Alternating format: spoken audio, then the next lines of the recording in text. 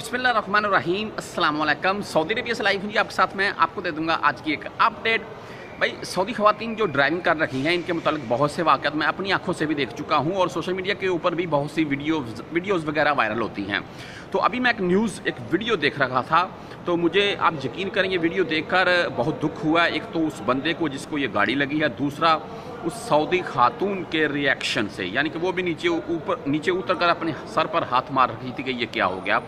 मैं आपके साथ यहाँ पर शायद वो वीडियो चलानी आपको दिखानी भी शुरू कर चुका हूँ, जिसमें आप देख सकते हैं कि एक पेंचरी होती है जो यहाँ पर आप वर्कशॉप वगैरह की दुकान जहाँ पर आपको पता है जी गाड़ियों को तेल जैत वगैरह चेंज किए जाते हैं। वहाँ पर वो बंदा गाड़ी लगवा रखा था। अच्छा ये जो गाड़ी लगवा रखा है, ये बंदे को भी टक्कर लगी है।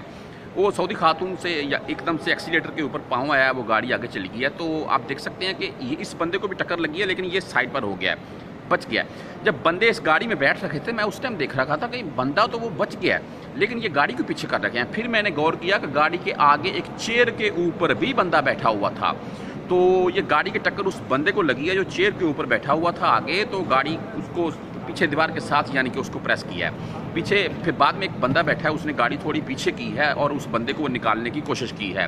तो अभी तक अल्हम्दुलिल्लाह वो बंदा ठीक है, यानी कि अपनी जान से हाथ धोने से तो वो बच चुका है, लेकिन वो सऊदी खातून भी काफ़ी परेशान हुई है इस वाक़े के बाद। और मैं ये देख रहा था ऐसी वीडियो से कि जो बंदा, चाहे वो कोई मर्द है, चाहे कोई औरत है फुल ड्राइवर हो तो उसको बाई कहीं भी, खासकर ऐसी पेंचरीज़ के ऊपर बिल्कुल पूरी पूरी गाड़ी गाड़ी लगानी होती है।